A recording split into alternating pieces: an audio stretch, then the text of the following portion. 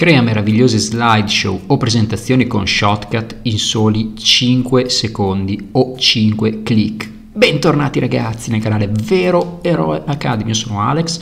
Nel video di oggi torneremo a parlare di questo meraviglioso programma Shortcut con una funzione secondo me utilissima e secondo me anche poco conosciuta. Allora, condividiamo subito il nostro desktop, abbiamo il nostro programma di video editing preferito, Shortcut, link in descrizione per il download. Allora, mh, mm, le presentazioni, no? le slideshow, cioè quindi queste foto che scorrono con delle transizioni, che è una delle, penso, funzioni più utilizzate per quanto riguarda i programmi di foto e video editing, ehm, andiamo a creare andiamo ad aprire queste 5 foto scaricate da, come al solito, da Pixabay, sito dal quale si scaricano foto senza diritti d'autore, quindi tranquillamente utilizzabili. Allora, mh, mm, andiamo a selezionare, e adesso ve lo faccio vedere, ovviamente ve lo spiego con calma, poi come al solito vi faccio vedere la velocità della creazione di questa eh, presentazione. Andiamo a selezionare tutte in una volta queste 5 foto, quindi io clicco eh, Shift, vado nella prima foto e clicco nell'ultima, vedete che in automatico mi seleziona tutte le foto. Avrei potuto fare anche andando qui sul menu playlist, seleziona, select, seleziona tutto. Ok, eh, io ho usato la scorciatoia da tastiere che come sapete sono fondamentali in qualsiasi programma di foto o video editing. Allora, quindi andiamo a creare andiamo a selezionare tutte le nostre foto, riclicchiamo qui su menu playlist e andiamo su aggiungi i selezionati alla presentazione. Ok, quindi abbiamo un tasto diretto che ci permette di configurare la nostra slideshow e ci apre questa mh, mm, schermata di configurazione, vedete generatore, presentazioni 5 clip. Allora qui abbiamo tutta una serie di parametri per configurare la nostra eh, presentazione, durata della clip, quindi la durata della foto, io la voglio fare di mm, 6 secondi. Centro di ritaglio è la modalità con il quale se ci sono foto di risoluzione diverse, quindi magari che hanno, che hanno magari, non sono magari complete, non sono abbastanza grandi, quindi vi metterà le barre nere di fianco o sopra sotto, eh, questo vi converte diciamo le proporzioni o ve le adatta oppure può fare ad esempio un blocco sfocatura. Qui dovete andare a provare. Blocco sfocatura vuol dire che le parti le bande nere lui vi sfuoca praticamente la, eh, gli ultimi pixel. Vedete ecco qui l'effetto. Vedete vi, pa- vi fa una sfocatura dello sfondo quindi è anche un bel effetto io lascio questo. Effetto zoom. Effetto zoom è questo effetto di mh, mm, vedete con il quale va a fare uno zoom alla foto, quindi vi dà l'effetto movimento. Questo mi piace e voglio dare un 20 per dare ancora più movimento. Durata della transizione, quindi ovviamente è il passaggio da una foto all'altra. Voglio che duri un secondo, no, un secondo e mezzo. Vabbè, poi chiaramente io adesso faccio delle prove così a caso, voi a seconda delle foto che avete, di quello che volete fare, andate a fare le modifiche giuste.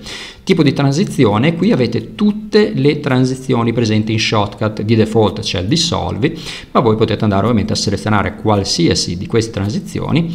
Eh, io vedete ho, ho, anche creato due transizioni con GIMP, ho fatto un video già che mh, mm, vi spiega come fare, ma altri seguiranno.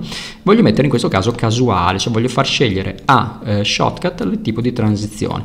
Qui in basso vedete ovviamente la, l'anteprima di quello che state facendo in modo tale da avere un'idea di quello che state modificando. Morbidezza della transizione ovviamente è la morbidezza del passaggio da una foto all'altra, voglio fare un 30%, anzi facciamo un 25%. Molto bene, fatto questo, io ho fatto un po' a caso, ma più o meno ho messo delle... Eh, eh, regolazioni generiche, clicco su ok e lui in automatico mi mette nella timeline, vedete, mi mette eh, tutta la clip che io ho creato come se fosse un vero e proprio video, quindi clip 1, transizione, clip 2, quindi foto 2, eccetera. Vedete, queste sono le bande sfuocate laterali. Ehm, andiamo a vedere, quindi A, facciamo un tasto destro, seleziona, ehm, non selezionare niente e andiamo in modo tale da togliere ovviamente la selezione alle clip e andiamo a vedere cosa abbiamo generato allora vedete che lui ci crea la prima foto con l'effetto zoom transizione in questo caso una transizione a finestra eh, seconda con la barra laterale, anche in questo caso avete la sfocatura laterale, sempre effetto zoom e così via. Allora perché ragazzi vi ho detto in 5 secondi, in 5 clic? Perché, e adesso ve lo faccio vedere velocemente, se, io, se contiamo insieme, vedete, io ho 5 foto, 1, 2, 3, 4, 5.